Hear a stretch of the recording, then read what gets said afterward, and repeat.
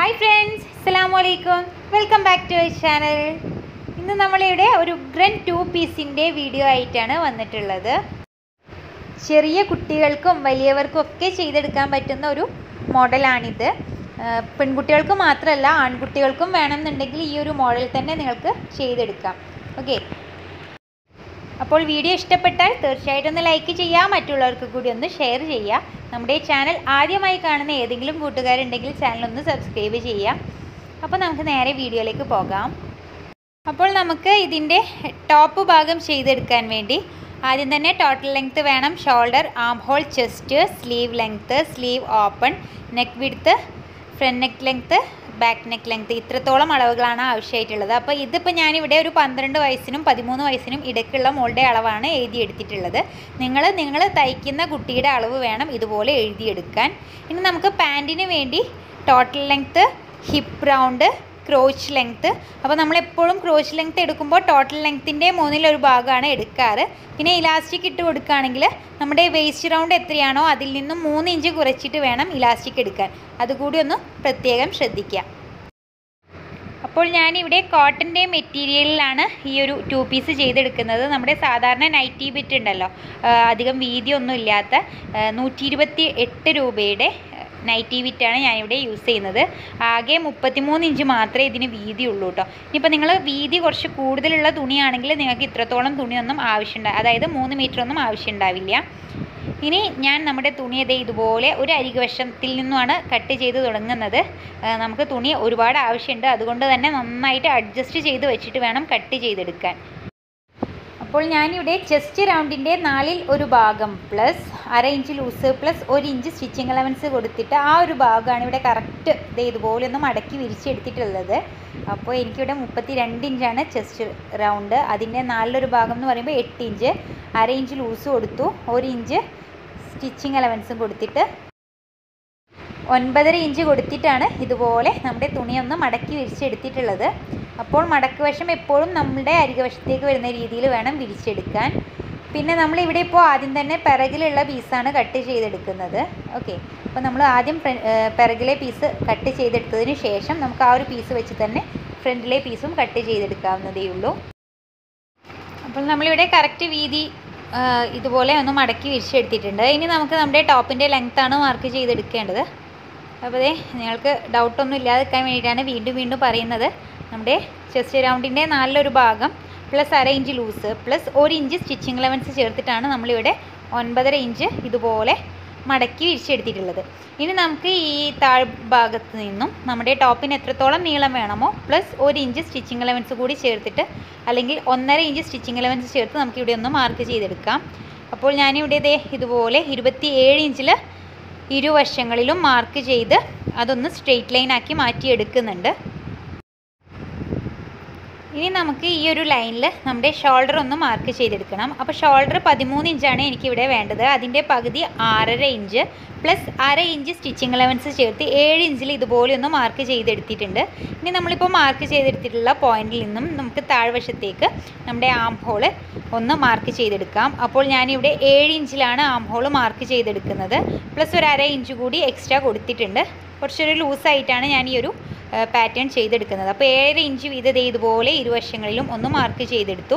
ശേഷം ആ ഒരു ഭാഗത്തും ഇതുപോലെ ഒന്ന് സ്ട്രെയിറ്റ് ലൈന് വരച്ചെടുത്തിട്ടുണ്ട്. ഇനി നമുക്ക് ഈ ഒരു ഭാഗത്തായി നമ്മുടെ ആം ഹോൾ ഒന്ന് ഷേപ്പ് ചെയ്ത് വരച്ചെടുക്കാം. ഓക്കെ അപ്പോൾ ദേ ഈ ഒരു രീതിയിൽ ഞാനിവിടെ ഒന്ന് നമ്മുടെ കൈക്കുഴി ഷേപ്പ് ചെയ്ത് വരച്ചെടുത്തിട്ടുണ്ട്. അപ്പോൾ ഞാൻ ഈ ഒരു ടോപ്പിന് ഇവിടെ ഷേപ്പ് ഒന്നും കൊടുക്കുന്നില്ല. നിങ്ങൾക്ക് ആർക്കെങ്കിലും ഷേപ്പ് വേണമെന്നുണ്ടെങ്കിൽ ദേ ഈ ഒരു ലൈനിൽ നിന്നും നിങ്ങളുടെ ഷേപ്പ് ലെങ്ത് എത്രയാണോ അതൊന്ന് കറക്റ്റ് മാർക്ക് ചെയ്തെടുക്കുക. ശേഷം ഷേപ്പ് വിടുത്ത് എത്രയാണ്? അതിന്റെ നാലിലൊരു ഭാഗം പ്ലസ് അര ഇഞ്ച് ലൂസ് പ്ലസ് ഒരു ഇഞ്ച് സ്റ്റിച്ചിങ് അലവൻസ് കൂടി ചേർത്തിട്ട് ആ ഒരു പോയിന്റ് കൂടി ഒന്ന് കണ്ടെത്തുക. ശേഷം ആ ഒരു ഭാഗമായിട്ട് നിങ്ങൾക്കൊന്ന് ഷേപ്പ് ചെയ്ത് വരയ്ക്കാവുന്നതേ ഉള്ളൂ അപ്പോൾ നമ്മുടെ നെക്കിന്റെ വിടുത്തിന്റെ അളവ് അഞ്ചര ഇഞ്ചാണ്. അതിന്റെ പകുതി രണ്ടേ മുക്കാൽ ഇഞ്ച്. അതിൽ നിന്നും അര ഇഞ്ച് കുറച്ചിട്ട് നമുക്ക് രണ്ടേകാൽ ഇഞ്ച് ആദ്യം തന്നെ ഒന്ന് മാർക്ക് ചെയ്തെടുക്കുക. ശേഷം ദേ നമുക്കിതിന്റെ താഴ്വശത്തേക്ക് ഒന്ന് ഷേപ്പ് ചെയ്ത് വരയ്ക്കണം. അപ്പോൾ അര ഇഞ്ച് മാത്രം ഷേപ്പ് ചെയ്ത് വരയ്ക്കേണ്ടവർക്ക് അങ്ങനെ ചെയ്യാം. അല്ലെങ്കിൽ ഇപ്പോൾ ഒരു ഇഞ്ച് വേണമെന്നുണ്ടെങ്കിൽ ഇത് ഇതുപോലെ ജസ്റ്റ് ഒരു ഇഞ്ച് ഇത് ഇതുപോലെ ഒന്ന് ഷേപ്പ് ചെയ്ത് വരച്ചെടുത്താൽ മതി. അപ്പോൾ നമ്മൾ ഫ്രണ്ടിൽ സാധാരണ കോളറിനൊക്കെ ചെയ്യുന്ന ആ രീതിയിൽ തന്നെയാണ്. അധികം കുഴിച്ചിട്ട് നമ്മൾ ബാക്കിലുള്ള നെക്ക് വരച്ചെടുക്കില്ല കേട്ടോ. ഇനി നമുക്കിതേ ഷോൾഡറിന് ചെരിവ് കൂടി കൊടുക്കണം. അപ്പോൾ അതിന് വേണ്ടി നമ്മുടെ ആം ഹോളിന്റെ ലൈനിൽ ഒരു അര ഇഞ്ച് മാർക്ക് ചെയ്തെടുക്കുക. ശേഷം ആ ഒരു ഭാഗത്തേക്ക് ഇത് ഇതുപോലെ ഒന്ന് ചെരിച്ച് വരച്ചതിന് ശേഷം ആ ഒരു ഭാഗം കൂടി നമുക്കൊന്ന് കട്ട് ചെയ്തെടുക്കാം. അപ്പോൾ ഇതേ ഈ ഒരു രീതിയിൽ ഞാനിവിടെ ഒന്ന് നമ്മുടെ പിറകിലുള്ള ടോപ്പിന്റെ പീസ് കട്ട് ചെയ്തെടുത്തിട്ടുണ്ട്. ഇനി നമുക്ക് ഈ ഒരു പീസ് വെച്ചിട്ട് തന്നെയാണ് നമ്മുടെ ഫ്രണ്ടിലുള്ള പീസും കട്ട് ചെയ്തെടുക്കേണ്ടത്. അതിനുവേണ്ടി ഞാനിതേ ഇവിടെ നമ്മുടെ ഫാബ്രിക്കിനെ ഒന്ന് ലെവൽ ചെയ്തെടുക്കുകയാണ് ചെയ്യുന്നത്. നിങ്ങൾക്ക് കാണുന്നുണ്ടാവും. ഓക്കെ അപ്പോൾ നമുക്ക് ഒട്ടും തന്നെ തുണി വേസ്റ്റ് ചെയ്യാനില്ല. അപ്പോൾ അതുകൊണ്ട് തന്നെ ഇതിന്റെ മുകൾ വശത്തുള്ള ആ ഒരു പീസ് ഫാബ്രിക്കിനെ അതേ രീതിയിൽ തന്നെ ഞാൻ ഇവിടെ ഒന്ന് ഫോൾഡ് ചെയ്ത് വെക്കുകയാണ് ചെയ്യുന്നത്. ആ ഒരു പീസ് ഫാബ്രിക് ഒക്കെ നമുക്ക് ആവശ്യമുള്ളതാണ് കേട്ടോ. ഇനി നമുക്ക് നമ്മുടെ ഈ ഒരു പീസിന്റെ സ്റ്റിച്ചിങ് എലവൻസിന്റെ ആ ഒരു പോയിന്റും സെന്റർ ഭാഗങ്ങളും എല്ലാം തന്നെ നമുക്കൊന്ന് ഇതേ ഇതുപോലെ ഒന്ന് നോച്ചസ് ഇട്ട് കൊടുത്തിട്ട് മാർക്ക് ചെയ്തെടുക്കാം. ഓക്കെ അപ്പോൾ ഈ ഒരു പീസ് വെച്ചിട്ട് തന്നെയാണ് നമ്മൾ ഫ്രണ്ടിലുള്ള പീസിനെ കട്ട് ചെയ്തെടുക്കുന്നത്. അതിന് വേണ്ടി ഇതേ ഫാബ്രിക്കിനെ ഇതുപോലെ ഞാനൊന്ന് ഒരല്പം വലിച്ചെടുത്തിട്ട് ഈ ഒരു ഭാഗം കൂടി ഒന്ന് മടക്കി വിരിച്ചെടുക്കുന്നുണ്ട്. ഓക്കെ അപ്പോൾ നമ്മുടെ പിറകിലുള്ള പീസിനേക്കാൾ ഒന്നര ഇഞ്ച് എക്സ്ട്രാ വീതി കൊടുത്തിട്ട് വേണം ഫ്രണ്ടിലെ ഭാഗം നമ്മൾ വിരിച്ചെടുക്കാൻ. അപ്പോൾ ഇത് ജസ്റ്റ് ഇതേ ഇതുപോലെ ഒന്ന് വെച്ചെടുത്ത് നോക്കാം. കണ്ടില്ലേ? ഇതുപോലെ ഒന്നര ഇഞ്ച് എക്സ്ട്രാ നമുക്ക് വീതി വേണം കേട്ടോ ഫ്രണ്ടിലുള്ള പീസിന്. അപ്പോൾ പിറകിലെ പീസിനേക്കാൾ ഒന്നര ഇഞ്ച് എക്സ്ട്രാ കൊടുത്തിട്ട് നമ്മുടെ ഫാബ്രിക്കിനെ ഇത് ഇതുപോലെ ഒന്ന് കറക്റ്റ് വിരിച്ചെടുത്തിട്ടുണ്ട്. ഇനി ഞാനിവിടെ നമ്മുടെ ഈ ഒരു ഫാബ്രിക്കിന്റെ സെന്റർ ഭാഗം ഒന്ന് കട്ട് ചെയ്ത് ഓപ്പൺ ആക്കി എടുക്കുന്നുണ്ട്. ഓക്കെ ഇത് ഈ ഒരു രീതിയിൽ ഞാനിവിടെ ഒന്ന് കട്ട് ചെയ്ത് കൊടുക്കുന്നുണ്ട്. ഇനി നമ്മുടെ പിറകിലെ ടോപ്പിന്റെ കൈക്കുഴിയുടെയും മറ്റും ഷേപ്പിൽ നമുക്ക് ഇതുപോലെ തന്നെ ഒന്ന് കട്ട് ചെയ്ത് കൊടുക്കാം. അപ്പോൾ നെക്കിന്റെ ഭാഗം കട്ട് ചെയ്യേണ്ട ആവശ്യമില്ല കേട്ടോ. ശേഷം ഈ ഒരു ഭാഗത്ത് നിന്നും ഞാനിവിടെ കട്ട് ചെയ്തെടുക്കുന്നുണ്ട്. അപ്പോൾ ഒന്നര ഇഞ്ചോ രണ്ട് ഇഞ്ചോ വീതി നിങ്ങൾക്ക് ഇവിടെ എക്സ്ട്രാ കൊടുക്കാം. ഓക്കെ ഇനി ഞാനിവിടെ നമ്മുടെ നെക്കിന്റെ വിടുത്ത് കൂടി ഒന്ന് മാർക്ക് ചെയ്തെടുക്കുകയാണ് ചെയ്യുന്നത്. ഓക്കെ നെക്കിന്റെ വിടുത്ത് എത്രയാണോ അത് ഇതുപോലെ തന്നെ ഒന്ന് കറക്റ്റ് മാർക്ക് ചെയ്തെടുക്കുക ആ ഒരു പോയിന്റിൽ നിന്നും താഴേക്ക് ഞാനിവിടെ ഒരു രണ്ടര ഇഞ്ച് മാത്രമേ മാർക്ക് ചെയ്യുന്നുള്ളൂ. മൂന്നിഞ്ചാണ് നെക്കിന്റെ ലെങ്ത്ത് കൊടുക്കുന്നത്. അര ഇഞ്ച് കുറച്ചിട്ട് രണ്ടര ഇഞ്ച് മാർക്ക് ചെയ്തു. ശേഷം ആ ഒരു ഭാഗത്ത് ഇതുപോലെ ഒന്ന് ബോക്സ് ആക്കി മാറ്റിയെടുത്തിട്ടുണ്ട്. ഓക്കെ ഇനി ഞാനിവിടെ നമ്മുടെ ഈ എക്സ്ട്രാ വരുന്ന പീസിന്റെ ആ ഒരു ഭാഗമൊക്കെ തന്നെ ഇതുപോലെ നോച്ചസ് ഇട്ട് കൊടുത്തിട്ട് ഒന്ന് മാർക്ക് ചെയ്തെടുക്കുകയാണ് ചെയ്യുന്നത്. ഓക്കെ ഇനി നമുക്ക് ഇതൊന്ന് മാറ്റി വെക്കാം. ഇനി നമ്മൾ ബാലൻസ് ഉള്ള ഫാബ്രിക്കിൽ നിന്നും പാന്റിന്റെ പീസ് കട്ട് ചെയ്തെടുത്തതിന് ശേഷം വരുന്ന പീസിൽ നിന്നും വേണം നമുക്ക് സ്ലീവ്സും അതുപോലെ നമ്മുടെ ഈ ഒരു ടോപ്പിന് ആവശ്യമായിട്ടുള്ള മറ്റ് പീസുകളും കട്ട് ചെയ്തെടുക്കാൻ. അപ്പോൾ നമുക്കിനി ഇതൊന്ന് മാറ്റി വെക്കാം. എന്നിട്ട് പാന്റിന്റെ ആ ഒരു ഫാബ്രിക് കറക്റ്റ് എടുക്കുക. അപ്പോൾ ഇത് എക്സ്ട്രാ വരുന്ന ഈ ഒരു ഭാഗത്തുള്ള ഫാബ്രിക് ഒന്നും കട്ട് ചെയ്ത് കളയരുത്. അത് അവിടെ തന്നെ നിന്നോട്ടെ. നമുക്കതെല്ലാം ആവശ്യമുള്ള പീസ് തന്നെയാണ്. അതിന്റെ ഓപ്പോസിറ്റ് സൈഡിൽ നിന്നുമാണ് ഞാനിപ്പോൾ നമ്മുടെ പാന്റിന് ആവശ്യമായ തുണി കട്ട് ചെയ്തെടുക്കുന്നത്. അപ്പോൾ ഇവിടെ ലെങ്ത്ത് ദേ ഞാനിവിടെ ഒന്ന് തുണിയെ നടുമടക്കി വിരിച്ചെടുത്തിട്ടുള്ളതാണ്. ആകെ മുപ്പത്തി ആറ് ഇഞ്ച് നീളം ഇവിടെ ഉള്ളൂ. അപ്പോൾ എനിക്ക് ടോട്ടൽ ലെങ്ത്ത് മുപ്പത്തി ആറ് ഇഞ്ചാണ് വേണ്ടത്. പക്ഷേ ഇനിയിപ്പോൾ ഒന്നും ചെയ്യാൻ പറ്റില്ലല്ലോ. അപ്പോൾ ഞാൻ വിചാരിച്ചു ഒരു ഫുൾ ലെങ്ത്തിലുള്ളത് വേണ്ട. ഒരു ത്രീ ഫോർത്തും അല്ല ഫുള്ളും അല്ല ഒരു ലെവലിലുള്ള പാന്റ് ചെയ്യാമെന്ന്. അപ്പോൾ ഞാൻ ഈ ലെങ്ത്ത് മൊത്തത്തിൽ അങ്ങോട്ട് എടുത്തിട്ടാണ് ചെയ്യുന്നത്. ഇനി ഇതേ ഇതേ ഇതുപോലെ ഒന്ന് കറക്റ്റ് വിരിച്ചെടുത്തിട്ടുണ്ട്.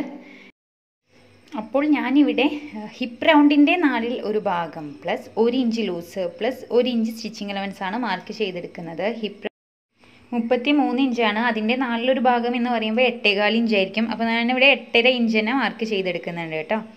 അപ്പോൾ ഇത് ഇതുപോലെ ഒന്ന് എട്ടര ഇഞ്ച് മാർക്ക് ചെയ്തതിന് ശേഷം ഒരു ഇഞ്ച് ലൂസും ഒരു ഇഞ്ച് സ്റ്റിച്ചിങ് അലവൻസും ചേർത്ത് എക്സ്ട്രാ രണ്ട് ഇഞ്ച് കൂടി ഇതേ ഇതുപോലെ ഒന്ന് മാർക്ക് ചെയ്തെടുത്തു. ഇനി നമുക്ക് ഈ ഒരു പോയിന്റിൽ നിന്നും അപ്പോൾ ഞാനിവിടെ നമ്മുടെ ഇലാസ്റ്റിക് കേസിന് വേണ്ടിയിട്ട് ഒന്നര ഇഞ്ച് വീതം ഇരുവശങ്ങളിലും മാർക്ക് ചെയ്ത് ആ ഒരു ഭാഗം ആദ്യമേ തന്നെ ഒന്ന് സ്ട്രെയിറ്റ് ലൈനാക്കി മാറ്റി വരയ്ക്കുകയാണ് ചെയ്യുന്നത്. ഓക്കെ ശേഷം ആ ഒരു ലൈനിൽ നിന്നും താഴേക്ക് വേണം നമ്മൾ ക്രോച്ച് ലെങ്ത്തും നമ്മുടെ മറ്റു കാര്യങ്ങളൊക്കെ അടയാളപ്പെടുത്തിയെടുക്കാൻ. അപ്പോൾ ഇതേ ക്രോച്ച് ലെങ്ത്ത് നമുക്ക് പന്ത്രണ്ട് ഇഞ്ചാണ് ആവശ്യം. അര ഇഞ്ച് സ്റ്റിച്ചിങ് അലവൻസ് ചേർത്ത് പന്ത്രണ്ടര ഇഞ്ച് മാർക്ക് ചെയ്തെടുത്തു. ഇനി ഇതിന്റെ അകംവശത്തേക്ക് ഇതേ ഒരു രണ്ട് ഇഞ്ച് മാർക്ക് ചെയ്തെടുത്തിട്ടുണ്ട്. അപ്പോൾ ചെറിയ കുട്ടികളൊക്കെ ആണെങ്കിൽ ഒരു ഇഞ്ചോ ഒന്നര ഇഞ്ചോ കൊടുത്താൽ മതി. ശേഷം ഇതേ ഇതുപോലെ ഒന്ന് വരച്ചെടുത്തതിന് ശേഷം ഞാനിവിടെ ഇതേ ജസ്റ്റ് ഇതുപോലെ ഒന്ന് ഷേപ്പ് ചെയ്തെടുക്കുന്നുണ്ട്. അപ്പോൾ ഏത് രീതിയിൽ വേണമെങ്കിലും നിങ്ങൾക്ക് ഷേപ്പ് ചെയ്തെടുക്കാം. ചിലർ ഇതേ ഇതുപോലെ ഷേപ്പ് ചെയ്യും. ചിലർ ഈ ഒരു ഭാഗത്ത് മാത്രം ഷേപ്പ് ചെയ്യും. അപ്പോൾ അതൊക്കെ നിങ്ങളുടെ ഇഷ്ടമാണ്. ഓക്കെ. ഇനി നമുക്ക് എത്രത്തോളം ലെങ്ത്ത് വേണം എന്നുള്ളത് നിങ്ങളൊന്ന് കറക്റ്റ് നോക്കുക അപ്പോൾ ഞാൻ പറഞ്ഞു ഈ ടോട്ടൽ ഫാബ്രിക് ഞാൻ ഇവിടെ എടുക്കുന്നുണ്ട്. ഇനി വീതി ഭാഗം എത്ര വേണം എന്നുള്ളത് നിങ്ങൾക്ക് തീരുമാനിക്കാം. അപ്പോൾ ഞാനിവിടെ കുറച്ച് ലൂസായി തന്നെയാണ് ചെയ്യുന്നത്. ഞാനിവിടെ ഇതേ പത്തിഞ്ച് ഓപ്പണാണ് കൊടുക്കുന്നത്. ഒരു ഇഞ്ച് സ്റ്റിച്ചിങ് അലവൻസും ചേർത്തിട്ട് ഇത് ഇതുപോലെ ഒന്ന് മാർക്ക് ചെയ്തെടുത്തിട്ടുണ്ട്. ശേഷം ഇതേ ഈ ഒരു രീതിയിലൊന്ന് വരച്ചെടുത്തു. അപ്പോൾ പാന്റിന്റെ ഒക്കെ കട്ടിങ്ങിൽ എന്തെങ്കിലും ഡൗട്ട് ഉള്ളവരാണെങ്കിൽ നമ്മൾ ഇതിനു മുമ്പ് ഒരു പട്ടിയാല പാന്റ് ചെയ്തിട്ടുണ്ടായിരുന്നില്ലേ? പട്ടിയാലല്ല പലാസ പാന്റ് അതൊന്ന് കണ്ടു നോക്കിയാൽ മതി. ലിങ്ക് ഇതേ മുകളിൽ ഐക്കാർഡിലും താഴെ ഡിസ്ക്രിപ്ഷനിലും ഞാൻ കൊടുക്കാം. അപ്പോൾ പാന്റിനെ ഡീറ്റെയിൽ ആയിട്ട് ഞാൻ ഇതിൽ കാണിക്കുന്നില്ല കേട്ടോ. മെയിനായിട്ട് നമ്മുടെ ടോപ്പിന് തന്നെയാണ് ഞാനിതിൽ കോൺസെൻട്രേറ്റ് ചെയ്തിട്ടുള്ളത്. ഞാനിവിടെ തുണി എങ്ങനെയാണ് കട്ട് ചെയ്യേണ്ടത് എന്നുള്ളത് കാണിക്കാൻ വേണ്ടി മാത്രമാണ് ഈ ഒരു പാന്റ് കട്ടിങ്ങും കൂടി ഇതിൽ ഉൾപ്പെടുത്തിയിട്ടുള്ളത്. ശേഷം ഇതേ ഞാനിവിടെ മാർക്ക് ചെയ്തെടുത്തിട്ടുള്ള ആ ഒരു സെയിം കണ്ടില്ലേ? ആ അതേ രീതിയിൽ തന്നെ ഒന്ന് കട്ട് ചെയ്തെടുക്കുകയാണ് ചെയ്യുന്നത്. അപ്പോൾ ഇതിനോടൊപ്പം തന്നെ ഇതിന്റെ മുകൾ വശത്തുള്ള ഫാബ്രിക് കൂടി ഒന്ന് കട്ട് ചെയ്ത് രണ്ടാക്കി മാറ്റിയെടുക്കുകയാണ് ചെയ്യുന്നത്. അപ്പോൾ വലിയ ആളുകൾക്ക് ആണ് നിങ്ങൾ ഈ ഒരു ടോപ്പ് ചെയ്യുന്നത് എങ്കിൽ വീതിയുള്ള തുണിയാണെങ്കിൽ നമുക്കൊരു മൂന്നേകാൽ മീറ്ററൊക്കെ മുറിച്ച് വാങ്ങിയാൽ മതിയാകും. അപ്പോൾ ഇതുപോലെ വീതി കുറഞ്ഞിട്ടുള്ള നൈറ്റി വിറ്റിൽ വലിയ ആളുകൾക്ക് ഇതുപോലെ ചെയ്തെടുക്കാൻ പറ്റില്ല. കുട്ടികൾക്ക് ചെയ്തെടുക്കാനേ കഴിയത്തുള്ളൂ. ഒരു പന്ത്രണ്ട് വയസ്സ് വരെയുള്ള കുട്ടികൾക്ക് ഇത് ഇതുപോലെ ചെയ്തെടുക്കാം. അപ്പോൾ അതിന്റെ ചോടയുള്ള കുട്ടികൾക്കാണെങ്കിൽ ഇതുപോലുള്ള ബിറ്റ് തന്നെ ധാരാളമായിരിക്കും. ഓക്കെ. അപ്പോൾ പാന്റിന്റെ കട്ടിങ് ഇവിടെ കഴിഞ്ഞിട്ടുണ്ട്. അതൊന്ന് മാറ്റി വെക്കാം. ഇനി ഞാനിവിടെ സ്ലീവാണ് കട്ട് ചെയ്തെടുക്കുന്നത്. അതിന് വേണ്ടി ദേ നമ്മുടെ ടോപ്പ് ഇതേ ഇതുപോലെ ഒന്ന് വെച്ചിട്ട് ആം ഹോൾ ഇതേ ഇതുപോലെ ഒന്ന് അളന്നെടുക്കുകയാണ് ചെയ്യുന്നത്. നമുക്കിവിടെ ഒൻപത് ഇഞ്ചിലാണ് കിട്ടിയിട്ടുള്ളത് കേട്ടോ. ഇനി നമ്മളിപ്പോൾ പാന്റ് കട്ട് ചെയ്തെടുത്തിട്ടുള്ള ഫാബ്രിക്കിൽ നിന്നും എക്സ്ട്രാ വന്നിട്ടുള്ള ഫാബ്രിക് ഇതേ ഇതുപോലെ ഒന്ന് കറക്റ്റ് വിരിച്ചെടുക്കുക.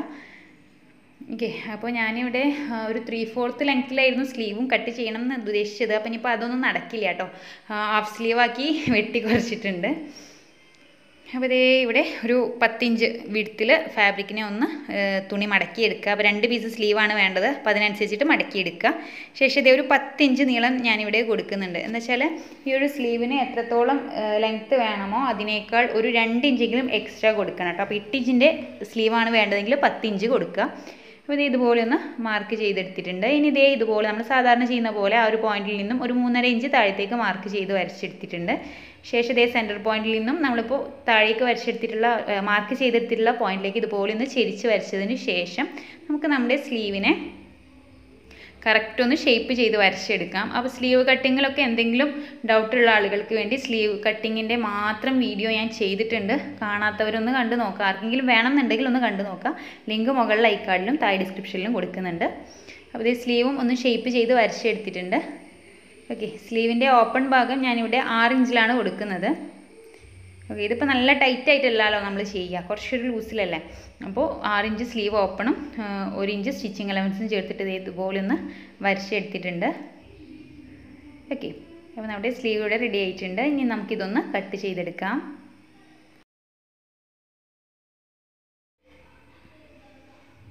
അപ്പോൾ നമ്മുടെ സ്ലീവിന്റെ കട്ടിങ്ങും കഴിഞ്ഞിട്ടുണ്ട്. സെന്റർ ഭാഗം കറക്റ്റ് ഒന്ന് മാർക്ക് ചെയ്തെടുക്കുക. അപ്പോൾ ഇത് ഈ ഒരു ഷേപ്പിലാണ് ഇപ്പോൾ കിട്ടിയിട്ടുള്ളത്. ഞാനിവിടെ ഫ്രണ്ടിലുള്ള കൈക്കുഴിയൊന്നും കുഴിച്ച് വെട്ടുന്നില്ല കേട്ടോ. നിങ്ങൾക്ക് ആർക്കെങ്കിലും താല്പര്യം ഉണ്ടെങ്കിൽ ചെയ്തെടുക്കാം. ഓക്കെ ഇനി എക്സ്ട്രാ ഉള്ള ഫാബ്രിക്കിൽ നിന്നും നമുക്ക് രണ്ട് പീസ് ഫാബ്രിക് നമ്മുടെ ഫ്രണ്ടിലുള്ള ടോപ്പിന്റെ പീസിലേക്കായിട്ട് ആവശ്യമായിട്ടുണ്ട്. അപ്പോൾ അതേ നീളത്തിൽ തന്നെയാണ് നമുക്ക് കിട്ടേണ്ടത്. അപ്പോൾ നമുക്ക് ഈ ഒരു രീതിയിൽ കറക്റ്റ് ഒന്ന് തുണിയൊന്ന് ലെവലാക്കി വിരിച്ചെടുക്കാം. വീതി കുറഞ്ഞിട്ടുള്ള ഭാഗത്ത് നിന്നുമാണ് ഞാൻ ഇതുപോലെ വിരിച്ചെടുക്കുന്നത്. നമുക്കൊരു അഞ്ച് ഇഞ്ചോ അഞ്ചര ഇഞ്ചോ വീതിയിലാണ് ഈ ഒരു പീസ് തുണി കട്ട് ചെയ്തെടുക്കേണ്ടത്. അപ്പോൾ ഞാനിവിടെ അഞ്ചര ഇഞ്ച് വീതിയിൽ ഇതേ നമ്മുടെ ടോപ്പിന്റെ സെയിം ലെങ്ത്തിലുള്ള രണ്ട് പീസ് ഫാബ്രിക് ഇവിടെ കട്ട് ചെയ്തെടുത്തിട്ടുണ്ട്. ഇനി നമുക്ക് നമ്മുടെ ബോഡി പീസിനെ ഇതിന്റെ മുകൾ വശത്ത് വെച്ചിട്ട് ദേ കറക്റ്റ് ഇതുപോലെ ഒന്ന് വെച്ചെടുക്കുക. അരിക വശങ്ങളും മുകൾ വശവും താഴ്വശവും ഒക്കെ ഒപ്പത്തിനൊപ്പം വരുന്ന രീതിയിൽ തന്നെ ഇതുപോലെ വെച്ചെടുക്കുക.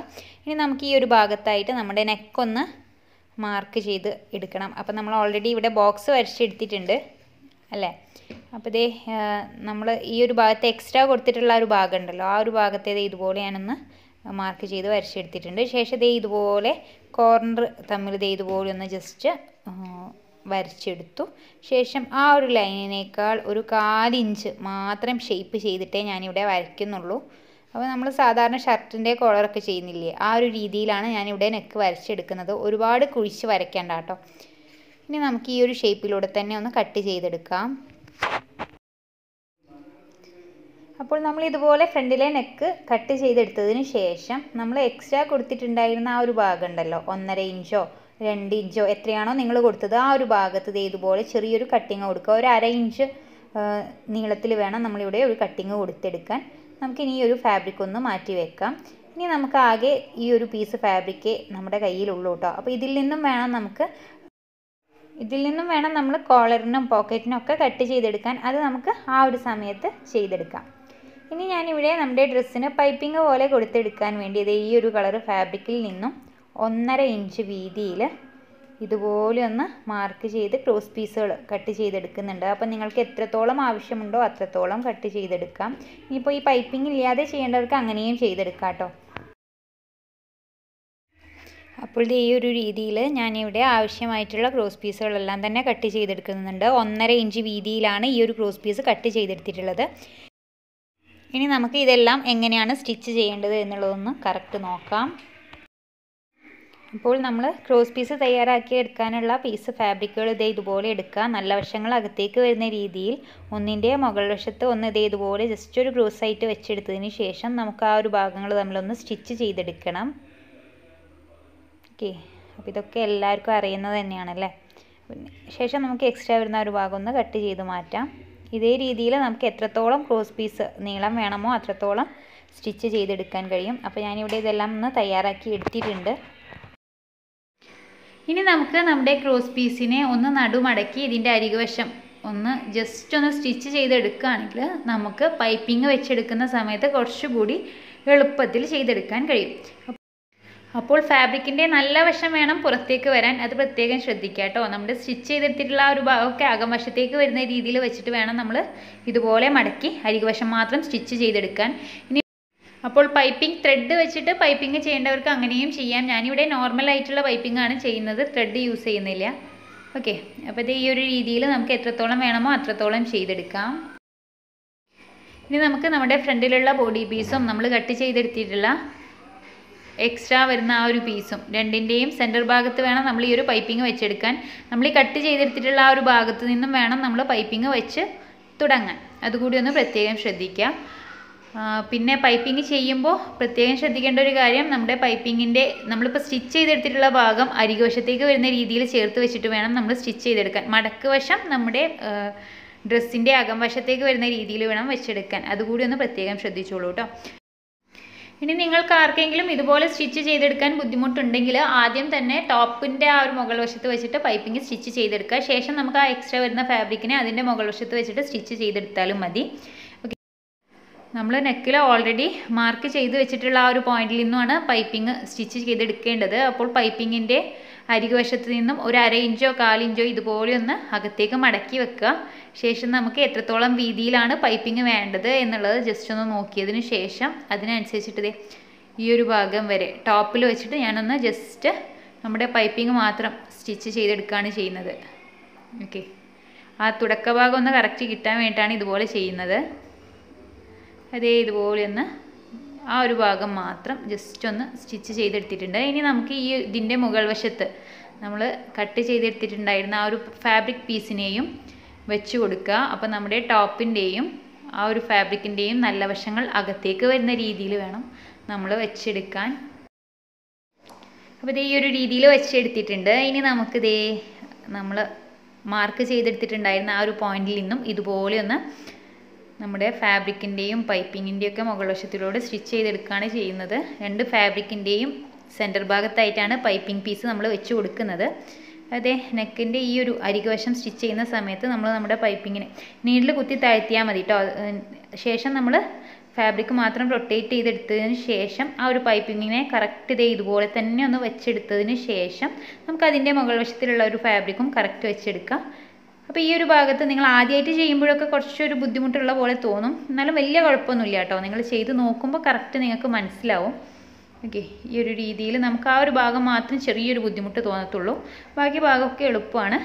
നമ്മുടെ ഫാബ്രിക്കിന്റെയും പൈപ്പിങ്ങിന്റെയും ഒക്കെ അരികുവശങ്ങൾ ഒപ്പത്തിനൊപ്പം വെച്ചിട്ട് നമ്മൾ എല്ലാ വശങ്ങളിലും ഒരേ രീതിയിലുള്ള സ്റ്റിച്ചിങ് എലമെന്റ്സ് കൊടുത്തിട്ട് മാത്രം സ്റ്റിച്ച് ചെയ്തെടുക്കുക എങ്കിലേ ആ ഒരു പൈപ്പിങ്ങിന് നല്ല വൃത്തി ഉണ്ടാവത്തുള്ളൂ.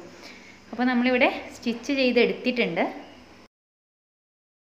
ഇനി നമുക്ക് നെക്കിന്റെ ഈ ഒരു ഭാഗത്ത് മാത്രം ചെറിയ കട്ടിങ് കൊടുക്കേണ്ടതായിട്ടുണ്ട്. എങ്കിൽ മാത്രമേ നമുക്ക് ആ കറക്റ്റ് ഷേപ്പ് കിട്ടത്തുള്ളൂ. നമ്മളിപ്പോൾ സ്റ്റിച്ച് ചെയ്തെടുത്തിട്ടുള്ള ഒരു സ്റ്റിച്ചിങ് പോയിന്റ് കട്ട് ചെയ്തെടുക്കാൻ പാടില്ല.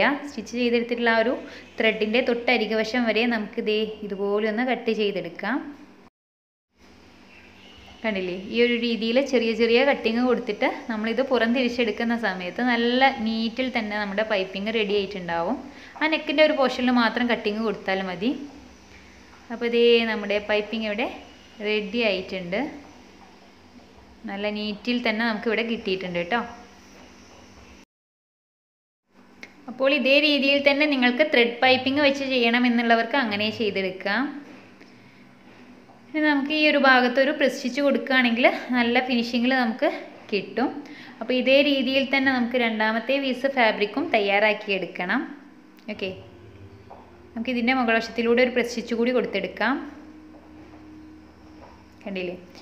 അപ്പോൾ നമ്മുടെ പൈപ്പിങ്ങിന്റെ മുകളവശത്തിലൂടെ അല്ല കേട്ടോ അതിന്റെ തൊട്ടരികവശത്തിലൂടെ വേണം നമ്മൾ ഇതുപോലെ പ്രസ്റ്റിച്ച് കൊടുത്തെടുക്കാൻ. അപ്പോൾ നമ്മുടെ ഫ്രണ്ടിലുള്ള രണ്ട് പീസ് ഫാബ്രിക്കും ഞാൻ ഇതേ രീതിയിൽ തന്നെ തയ്യാറാക്കി എടുത്തിട്ടുണ്ട്. ഇതിലിപ്പോൾ നിങ്ങൾക്ക് കൺഫ്യൂഷൻ ഒന്നും ഉണ്ടാവില്ല എന്ന് വിചാരിക്കുന്നു. ഏതെങ്കിലും ഭാഗം ക്ലിയർ ആവാത്തതായിട്ടുണ്ടെങ്കിൽ ജസ്റ്റ് ഒരു തവണ കൂടി ആ ഒരു ഭാഗം ഒന്ന് കണ്ടു നോക്കൂ കേട്ടോ ഇനി നമുക്ക് നമ്മുടെ പിറകിലുള്ള ബോഡി പീസിനെ എടുക്കാം. ശേഷം നമുക്ക് ഷോൾഡറാണ് സ്റ്റിച്ച് ചെയ്തെടുക്കേണ്ടത്. അപ്പോൾ നമ്മുടെ ഫ്രണ്ടിലെയും പിറകിലെയും നല്ല വശങ്ങൾ അകത്തേക്ക് വരുന്ന രീതിയിൽ ഒപ്പത്തിനൊപ്പം വെച്ച് നമുക്ക് ഇരുഭാഗങ്ങളിലും ഷോൾഡർ ഒന്ന് സ്റ്റിച്ച് ചെയ്തെടുക്കാം. അപ്പോൾ അതിന്റെ സ്റ്റിച്ചിങ് ഒന്നും ഞാൻ കാണിക്കുന്നില്ല കേട്ടോ. വെറുതെ വീഡിയോ ലെങ്ത് ആക്കേണ്ട ആവശ്യമില്ലല്ലോ. അപ്പോൾ നമ്മൾ നമ്മുടെ ഷോൾഡർ ഭാഗവും സ്റ്റിച്ച് ചെയ്തെടുത്തിട്ടുണ്ട് ഇരുവശങ്ങളിലും. കണ്ടില്ലേ? ഇനി നമുക്ക് നമ്മുടെ നെക്കിന്റെ ഓപ്പണായി കിടക്കുന്ന ഭാഗങ്ങൾ ഒരുമിച്ച് വരുന്ന രീതിയിൽ ഇത് ഇതുപോലെ ഒന്ന് ഒപ്പത്തിനൊപ്പം വെച്ചെടുക്കുക. ശേഷം നമ്മൾ കട്ടിങ് കൊടുത്തിട്ടുണ്ടായിരുന്ന ആ ഒരു പോയിന്റിൽ ആ ഒരു പോയിന്റിൽ നിന്നും നമ്മുടെ പിറകുവശത്തുള്ള നെക്കിന്റെ സെന്റർ പോയിന്റ് വരെ കറക്റ്റ് ഇതേ ഇതുപോലെ ഒന്ന് വച്ചെടുക്കാം. ഇനി നമുക്ക് ഒരു മെഷർമെന്റ് ടാപ്പ് എടുത്തിട്ട് നമ്മൾ നേരത്തെ കട്ട് ചെയ്ത് കൊടുത്തിട്ടുണ്ടായിരുന്ന ആ ഒരു പോയിന്റിൽ നിന്നും നമ്മുടെ പിറകിലെ നെക്കിന്റെ ആ ഒരു സെന്റർ പോയിന്റ് വരെ ഇതുപോലെ ഒന്ന് കറക്റ്റ് വെച്ച് നോക്കുക. എനിക്കിവിടെ ആറ് ഇഞ്ചാണ് കിട്ടിയിട്ടുള്ളത്. കണ്ടില്ലേ? നിങ്ങൾ ആ കറക്റ്റ് അരികുവശങ്ങളെല്ലാം ഒപ്പത്തിനൊപ്പം തന്നെ വെച്ചെടുത്തിട്ട് വേണം ഇതുപോലെ അളന്ന് നോക്കാൻ. കണ്ടില്ലേ? ഈ ഒരു രീതിയിൽ വെച്ചിട്ട് വേണം അളവെടുത്ത് നോക്കാൻ.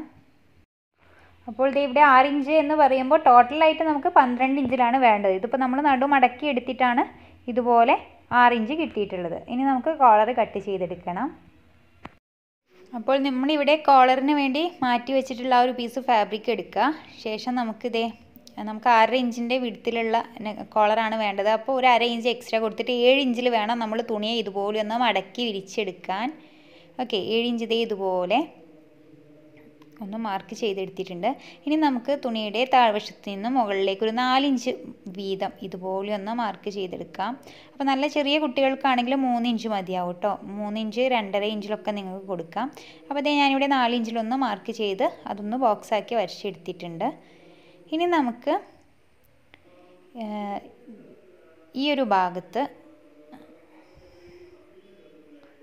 ഒരു ഇഞ്ച് താഴേക്ക് മാർക്ക് ചെയ്തെടുക്കാം.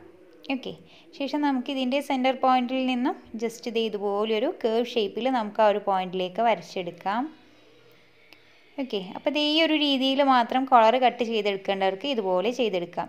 ഇപ്പം അങ്ങനെയല്ല എന്നുണ്ടെങ്കിൽ ഈ ഒരു ലൈനിൽ നിന്നും ഒരു അര ഇഞ്ച് അകത്തേക്ക് മാർക്ക് ചെയ്തെടുക്കുക. ശേഷം നമുക്ക് ഈ ഒരു പോയിന്റിൽ നിന്നും നമ്മുടെ കോളറിന്റെ ആ ഒരു മുകൾ വശത്തുള്ള പോയിന്റിലേക്ക് കറക്റ്റ് ഒന്ന് ചെരിച്ച് വരച്ചെടുക്കുക ശേഷം ഈ ഒരു ലൈനിലൂടെ കട്ട് ചെയ്തെടുക്കേണ്ടവർക്ക് അങ്ങനെയും ചെയ്തെടുക്കാം. അതെ നമുക്ക് ഇനി ഇതൊന്ന് കട്ട് ചെയ്തെടുക്കാം. ഇതേ രീതിയിൽ നമുക്ക് രണ്ട് പീസ് ഫാബ്രിക് കട്ട് ചെയ്തെടുക്കണം. അപ്പോൾ ഇതേ ഞാനിവിടെ രണ്ട് പീസ് ഫാബ്രിക്കും കട്ട് ചെയ്തെടുത്തിട്ടുണ്ട്. ഇനി നമുക്ക് ഈ ഒരു കോളർ പീസിന്റെ ദേ ഈ താഴ്വശം നമുക്ക് കറക്റ്റ് ഏഴ് ഇഞ്ചിൽ തന്നെ കിട്ടണം കേട്ടോ. അത് കറക്റ്റ് അല്ലേ എന്നുള്ളത് നിങ്ങളൊന്ന് ജസ്റ്റ് ഒന്ന് ഇതുപോലെ വെച്ച് നോക്കൂ. ഇനി നമുക്ക് ഈ ഫാബ്രിക്കിന്റെ നല്ല വശങ്ങൾ അകത്തേക്ക് വരുന്ന രീതിയിൽ ഒപ്പത്തിനൊപ്പം വെച്ചിട്ട് ദേ ഈ ഭാഗം ഒന്ന് സ്റ്റിച്ച് ചെയ്തെടുക്കണം. അപ്പോൾ ഇതിന്റെ സെന്ററിൽ നമ്മൾ പൈപ്പിംഗ് കൂടി കൊടുത്തിട്ടാണ് സ്റ്റിച്ച് ചെയ്തെടുക്കുന്നത്. അപ്പോൾ നമ്മൾ നേരത്തെ ചെയ്ത പോലെ തന്നെയാണ് പൈപ്പിംഗ് കൊടുക്കുന്നത്. വ്യത്യാസമൊന്നുമില്ല കേട്ടോ.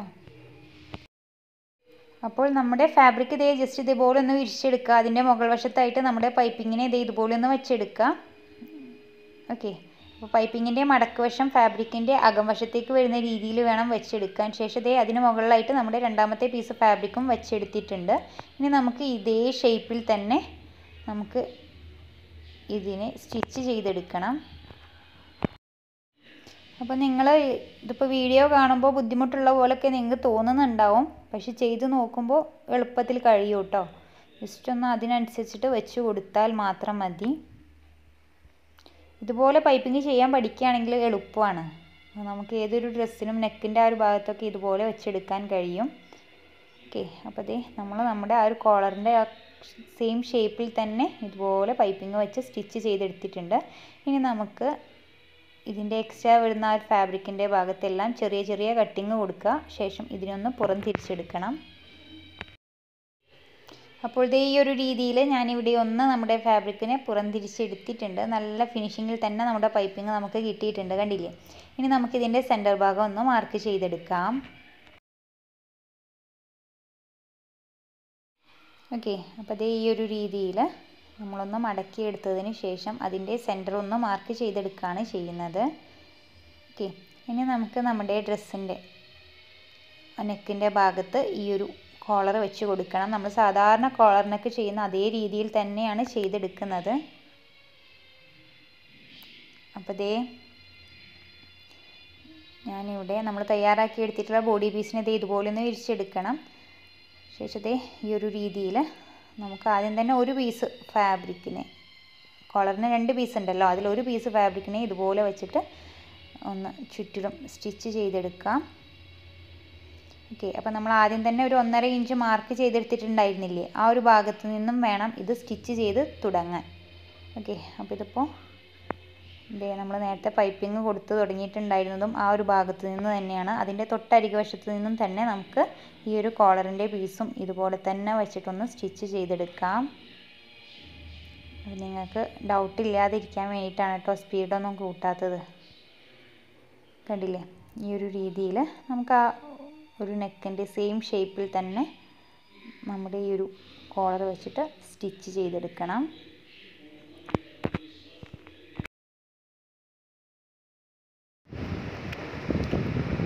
അപ്പോൾ ഇതിനു മുമ്പ് നമ്മൾ റൗണ്ട് കോളറൊക്കെ ചെയ്തിട്ടുണ്ടായിരുന്നില്ലേ?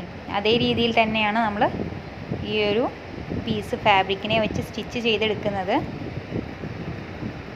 ആർക്കെങ്കിലും ലിങ്ക് വേണമെന്നുണ്ടെങ്കിൽ ഞാൻ താഴെ ഡിസ്ക്രിപ്ഷനിൽ കൊടുക്കാം കേട്ടോ. അപ്പോൾ ഇതേ ഒരു ഭാഗം നമ്മളിവിടെ നമ്മുടെ ടോപ്പുമായിട്ട് സ്റ്റിച്ച് ചെയ്തെടുത്തിട്ടുണ്ട്. ഇനി എക്സ്ട്രാ വരുന്ന ആ ഒരു ഭാഗത്തെ നമ്മളിത് ഇവിടെ ഫുള്ളായിട്ട് കവർ ചെയ്യുന്ന രീതിയിൽ ആ ഒരു പൈപ്പിങ്ങിന്റെ ഭാഗവും നെക്കിന്റെ ആ ഒരു ഭാഗവും നല്ല ഫിനിഷിങ് വരുന്ന രീതിയിൽ നമുക്ക് അതിനെ ഒന്ന് അകം വശത്തേക്ക് വെച്ചെടുത്തിട്ട് വേണം ചുറ്റിലും സ്റ്റിച്ച് ചെയ്തെടുക്കാൻ. ഓക്കെ കണ്ടില്ലേ? ഈ ഒരു രീതിയിൽ പിടിച്ചെടുത്തിട്ട് നമുക്ക് നമുക്കതിന്റെ മുകൾ വശത്തിലൂടെ. നമ്മളിപ്പോൾ സ്റ്റിച്ച് ചെയ്തെടുത്തിട്ടുള്ള സ്റ്റിച്ചിങ് എലവൻസ് ഒന്നും കാണില്ല. അത് കവർ ചെയ്യുന്ന രീതിയിൽ വേണം നമ്മളിപ്പോൾ ഈ ഫാബ്രിക്കിനെ വച്ചെടുക്കാൻ. അപ്പോൾ പിറകിലുള്ള ആ ഒരു ഭാഗത്ത് ചെറിയൊരു കട്ടിങ് കൊടുക്കേണ്ടവർക്ക് കട്ടിങ് കൊടുക്കാം കേട്ടോ. അപ്പോൾ ഞാനിവിടെ കൊടുക്കുന്നുണ്ട്. അപ്പോൾ നമുക്ക് ആ കറക്റ്റ് ഷേപ്പിൽ കിട്ടുമല്ലോ അപ്പോൾ ദേ ഇവിടെ നമ്മുടെ നമ്മൾ സ്റ്റിച്ച് ചെയ്തെടുത്തിട്ടുള്ള സ്റ്റിച്ചിങ് അലവൻസിനെ എല്ലാം തന്നെ കവർ ചെയ്യുന്ന രീതിയിൽ നമ്മൾ നമ്മുടെ കോളറിന്റെ പീസിനെ ഇതുപോലെ ഒന്ന് കറക്റ്റ് വെച്ചെടുക്കുക. ഓക്കെ ശേഷം നമുക്ക് ഇതിന് ചുറ്റിലും ഒന്ന് സ്റ്റിച്ച് ചെയ്തെടുക്കാം. അപ്പോൾ നിങ്ങൾ സ്റ്റിച്ച് ചെയ്ത് നോക്കുമ്പോഴായിരിക്കും നിങ്ങൾക്ക് കറക്റ്റ് മനസ്സിലാവുക. ഇതുവരെ ചെയ്ത് നോക്കാത്തവർ ഒന്ന് എന്തായാലും ചെയ്ത് നോക്കൂ. നല്ല ഭംഗിയുള്ളൊരു തരത്തിലുള്ള നെക്ക് തന്നെയാണ്. നമ്മൾ ഇതിനു മുമ്പൊരു നൈറ്റിയും ഇതേപോലെ തന്നെ ചെയ്തിട്ടുണ്ടായിരുന്നു. ഒരു മൂന്നോ നാലോ വീഡിയോക്ക് മുമ്പ് ചെയ്തിട്ടുണ്ടായിരുന്നു. ഓക്കെ അപ്പോൾ ദേ നമ്മളിവിടെ കോളറും സ്റ്റിച്ച് ചെയ്തെടുത്തിട്ടുണ്ട്. ഓക്കെ അപ്പോൾ ദേ ഇതുപോലെ വിരിച്ചെടുക്കുന്ന സമയത്ത് നമ്മുടെ കോളർ ദേ ഈ ഒരു ലുക്കിലാണ് ഇപ്പോൾ നമുക്ക് കിട്ടുക. അപ്പോൾ നല്ല ഫിനിഷിങ്ങോട് കൂടി തന്നെ നമ്മുടെ കോളർ ഇവിടെ റെഡി ആയിട്ടുണ്ട്. കണ്ടില്ലേ? ഇനി നമുക്ക് പോക്കറ്റ് സ്ലീവ് ഒക്കെയാണ് സ്റ്റിച്ച് ചെയ്തെടുക്കാനുള്ളത്. അപ്പോൾ പോക്കറ്റിനും സ്ലീവ്സിനും വെച്ചെടുക്കാൻ വേണ്ടി ഞാനിവിടെ ഒന്നര ഇഞ്ച് വീതിയുള്ള സ്ട്രെയിറ്റ് പീസാണ് കട്ട് ചെയ്തെടുത്തിട്ടുള്ളത്. ക്രോസ് പീസ് അല്ല കേട്ടോ സ്ട്രെയിറ്റ് പീസ് തന്നെയാണ് കട്ട് ചെയ്തെടുത്തിട്ടുള്ളത്. ഇനി നമുക്ക് നമ്മുടെ സ്ലീവിന്റെ താഴ്വശത്ത് നിന്നും ഒരു നാല് ഇഞ്ച് മുകൾ വശത്തേക്ക് ദേ ഇതുപോലെ നാലിഞ്ചോ മൂന്നിഞ്ചോ ഒക്കെ മാർക്ക് ചെയ്തെടുക്കാം. അപ്പോൾ ഇതേ ഒരു മൂന്നിഞ്ച് ഇതുപോലെ ഒന്ന് മാർക്ക് ചെയ്തെടുക്കുന്നുണ്ട്. ഇരുവശങ്ങളിലും മാർക്ക് ചെയ്ത് ആ ഒരു ഭാഗം ഒന്ന് സ്ട്രെയിറ്റ് ആക്കി മാറ്റി ലൈന് വരച്ച് നമുക്കത് കട്ട് ചെയ്ത് മാറ്റാം. അപ്പോൾ ഇതിനോടൊപ്പം തന്നെ ഞാനൊരു പീസ് ഫാബ്രിക് എടുത്തിട്ടുണ്ട്. പോക്കറ്റിന് വേണ്ടിയിട്ടാണിത്. അപ്പോൾ ഇവിടെ എട്ട് ഇഞ്ച് നീളവും ആറ് ഇഞ്ച് വീതിയുള്ള ഒരു പീസ് ഫാബ്രിക്കാണ് ഞാൻ എടുത്തിട്ടുള്ളത്. ഓക്കെ ഇതിന്റെ സെന്റർ ഭാഗത്തും സെന്ററിലല്ല മുകൾ വശത്തും ചെറിയൊരു പൈപ്പിംഗ് കൊടുക്കാൻ വേണ്ടിയിട്ട് ഞാനൊരു ഭാഗം കട്ട് ചെയ്തെടുക്കുന്നുണ്ട്. അപ്പോൾ കണ്ടില്ല എട്ട് ഇഞ്ച് നീളവും ആറ് ഇഞ്ച് വീതിയുള്ള ഒരു പീസ് ഫാബ്രിക്കാണ് ഇതിൽ നിന്നും ഒരു രണ്ടര ഇഞ്ച് വീതം ഇരുവശങ്ങളിലും മാർക്ക് ചെയ്ത് ആ ഒരു ഭാഗം സ്ട്രെയിറ്റ് ലൈനാക്കി മാറ്റി ആ ഒരു ഭാഗം ഒന്ന് കട്ട് ചെയ്തെടുക്കുന്നുണ്ട്. ആ ഒരു ഭാഗത്താണ് നമ്മൾ നമ്മുടെ പൈപ്പിംഗ് കൊടുക്കേണ്ടത്. ഓക്കെ അപ്പോൾ ഇത് ഇതുപോലെ ചെയ്തതിന് ശേഷം ഇനി നമുക്ക് നമ്മുടെ പൈപ്പിങ്ങിനെ ഇത് ഇതുപോലെ ഒന്ന് മടക്കുക. ശേഷം ഇതേ ഇതുപോലെ നല്ല വശങ്ങൾ അകത്തേക്ക് വരുന്ന രീതിയിൽ ഫാബ്രിക്കിനെ ഒപ്പത്തിനൊപ്പം വെക്കുക. അതിന്റെ സെന്റർ ഭാഗത്ത് നമ്മുടെ പൈപ്പിങ്ങിന്റെ മടക്ക് വശം അകത്തേക്ക് വരുന്ന രീതിയിൽ വെച്ചിട്ട് നമുക്ക് അതിന്റെ അരികുവശം ഒന്ന് സ്റ്റിച്ച് ചെയ്തെടുക്കുക. ഇതേ രീതിയിൽ തന്നെയാണ് നമ്മൾ സ്ലീവ്സിനും ചെയ്തെടുക്കേണ്ടത്. ഓക്കെ അപ്പോൾ ഇതേ ഈ ഒരു രീതിയിൽ കണ്ടില്ലേ? അരികുവശങ്ങൾ ഒപ്പത്തിനൊപ്പം വെച്ചിട്ട് തന്നെ വേണം നമ്മൾ സ്റ്റിച്ച് ചെയ്തെടുക്കാൻ. ഇനിയിപ്പോൾ പൈപ്പിങ്ങിന്റെ ആ ഒരു ഫാബ്രിക്കിനെ നിങ്ങൾക്ക് ആദ്യം തന്നെ ഒന്ന് സ്റ്റിച്ച് ചെയ്തെടുക്കേണ്ടവർക്ക് അങ്ങനെയും ചെയ്തെടുക്കാം. ഇത് ഈ ഒരു രീതിയിൽ നമ്മളിവിടെ പൈപ്പിംഗ് തയ്യാറാക്കി എടുത്തിട്ടുണ്ട്. ഇനി നമ്മുടെ പോക്കറ്റിന്റെ മുകൾ വശത്ത് ഒരു അര ഇഞ്ച് ആദ്യം തന്നെ മടക്കി എടുത്തു. ശേഷം നമ്മൾ ഇപ്പോൾ സ്റ്റിച്ച് ചെയ്തെടുത്തിട്ടുള്ള പൈപ്പിങ്ങിന്റെ ആ ഒരു ഭാഗം കവർ ചെയ്യുന്ന രീതിയിലൊന്ന് മടക്കി ആ ഒരു ഭാഗം കൂടി ഞാനൊന്നിവിടെ സ്റ്റിച്ച് ചെയ്തെടുക്കുകയാണ് ചെയ്യുന്നത്. ഓക്കെ. അപ്പോൾ ഈ ഒരു രീതിയിൽ കണ്ടില്ലേ നല്ല ഫിനിഷിങ്ങിൽ നമ്മുടെ പൈപ്പിംഗ് കിട്ടിയിട്ടുണ്ട്. ഇനി നമുക്ക് പോക്കറ്റിന്റെ മൂന്ന് വശങ്ങളും അര ഇഞ്ച് വീതം അകത്തേക്ക് മടക്കിയിട്ട് ഒന്ന് സ്റ്റിച്ച് ചെയ്തെടുക്കാം. അപ്പോൾ വളരെ എളുപ്പത്തിൽ നമുക്ക് ഡ്രസ്സിൽ വെച്ചിട്ട് സ്റ്റിച്ച് ചെയ്തെടുക്കാൻ കഴിയും. അപ്പോൾ അതിന് വേണ്ടിയിട്ടാണ് ഇതുപോലെ ചെയ്തെടുക്കുന്നത്.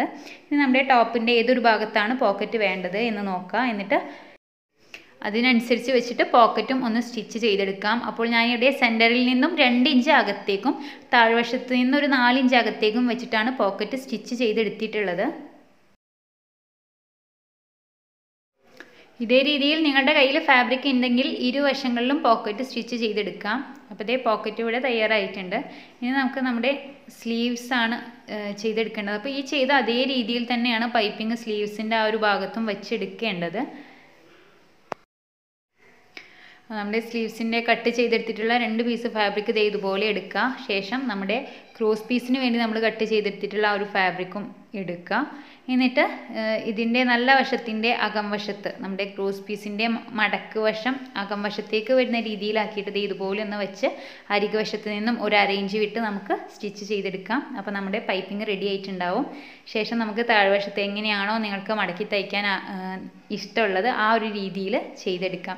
അപ്പോൾ ഈ ഒരു രീതിയിൽ നിങ്ങൾക്ക് സ്ലീവ്സ് ഇരുഭാഗങ്ങളിലും തയ്യാറാക്കിയെടുക്കാം. ശേഷം ടോപ്പിന് ഇരുഭാഗങ്ങളിലും സ്ലീവ്സ് സ്റ്റിച്ച് ചെയ്തെടുക്കാം. ഷേപ്പ് സ്റ്റിച്ച് ചെയ്യാം. പിന്നെ താഴ്വശം കൂടി ഒന്ന് മടക്കി തയ്ക്കുന്നതോടുകൂടി ടോപ്പ് തയ്യാറായിട്ടുണ്ടാകും. അപ്പോൾ വീഡിയോ ഒത്തിരി ലെങ്തായി പോയിട്ടുണ്ട്. ആർക്കെങ്കിലും എന്തെങ്കിലും ബുദ്ധിമുട്ട് തോന്നിയിട്ടുണ്ടെങ്കിൽ സോറി കേട്ടോ അപ്പോൾ ഇതിനോടൊപ്പം ഞാനിപ്പോൾ പാന്റിന്റെ വീഡിയോ എന്തായാലും കാണിക്കുന്നില്ല. ഇനി നമുക്കിതേ ഈ ഒരു ഭാഗത്ത് നിങ്ങൾക്ക് ബട്ടൺ വെക്കേണ്ടവർക്ക് ബട്ടൺ വെച്ച് സ്റ്റിച്ച് ചെയ്ത് കൊടുക്കാം. അപ്പോൾ ബട്ടന്റെയും ബട്ടൺ ഹോളിന്റെയും സ്റ്റിച്ചിങ് വീഡിയോ നമ്മൾ ഇതിനു മുമ്പ് ഡീറ്റെയിൽ ആയിട്ട് ചെയ്തിട്ടുണ്ട്. കാണാത്തവരൊന്ന് കണ്ടു നോക്കാം. മുകളിലും ഐക്കാർഡിലും താഴെ ഡിസ്ക്രിപ്ഷനിലും ഞാൻ കൊടുക്കുന്നുണ്ട്. ഇനിയിപ്പോൾ ബട്ടൺ ഹോൾ ചെയ്യാനുള്ള മെഷീൻ ഇല്ല എന്നുണ്ടെങ്കിൽ നിങ്ങൾക്ക് ഇത് ഇതുപോലെ വെൽക്രോ വെച്ചിട്ടും സ്റ്റിച്ച് ചെയ്തെടുക്കാം. അപ്പോൾ ഇതേ ഒരു ഇഞ്ച് വീതിയിൽ ഒരു ഇഞ്ച് നീളത്തിൽ വെൽക്രോ കട്ട് ചെയ്തെടുക്കുക. ശേഷം ഏതൊക്കെ ഭാഗത്ത് നിങ്ങൾക്ക് കൊടുക്കണമോ ആ ഒരു ഭാഗത്തെല്ലാം തന്നെ ഇതുപോലെ ഒന്ന് മാർക്ക് ചെയ്തതിന് ശേഷം ഇരുവശങ്ങളിലുമായിട്ട് വെൽക്രോന്റെ ഓരോ സൈഡിലുള്ള പീസുകൾ ഇരുവശങ്ങളിലായിട്ട് കറക്റ്റ് ഒന്ന് സ്റ്റിച്ച് ചെയ്തെടുക്കാം. അപ്പോൾ ഇതേ ഞാനിവിടെ വെൽക്രോ വെച്ചിട്ടാണ് സ്റ്റിച്ച് ചെയ്തെടുത്തിട്ടുള്ളത്. ശേഷം ഇതിന്റെ മുകൾ വശത്ത് ചെറിയൊരു നമ്മുടെ സാധാരണ ഷർട്ടിനൊക്കെ വെക്കുന്ന ആ ഒരു ബട്ടൺ തന്നെ ഷോ ബട്ടൺ പോലെ ഭംഗിക്ക് വേണ്ടിയിട്ട് ജസ്റ്റ് ഒന്ന് തുന്നി പിടിപ്പിച്ച് തന്നേ ഉള്ളൂ. അപ്പോൾ ഈ ഒരു രീതിയിൽ നിങ്ങൾക്കും ചെയ്തെടുക്കാവുന്നതേ ഉള്ളൂ. അപ്പോൾ നല്ല പൈപ്പിംഗ് ഒക്കെ വെച്ചിട്ടുള്ള അടിപൊളി ടു പീസ് നമ്മളിവിടെ തയ്യാറാക്കി എടുത്തിട്ടുണ്ട്. അപ്പോൾ വീഡിയോ നിങ്ങൾക്ക് എല്ലാവർക്കും യൂസ്ഫുൾ ആവും എന്ന് വിചാരിക്കുന്നു. വീഡിയോ ഇഷ്ടപ്പെട്ടിട്ടുണ്ടെങ്കിൽ തീർച്ചയായിട്ടും ഒന്ന് ലൈക്ക് ചെയ്യാം. മറ്റുള്ളവർക്ക് കൂടി ഒന്ന് ഷെയർ ചെയ്യാം. നമ്മുടെ ചാനൽ ആദ്യമായി കാണുന്ന ഏതെങ്കിലും കൂട്ടുകാരുണ്ടെങ്കിൽ ചാനൽ ഒന്ന് സബ്സ്ക്രൈബ് ചെയ്യുക. അപ്പോൾ മറ്റൊരു ഉഗ്രൻ വീഡിയോ ആയിട്ട് നമുക്ക് ഉടൻ തന്നെ കാണാം. അതുവരേക്കും അസ്സലാമു അലൈക്കും.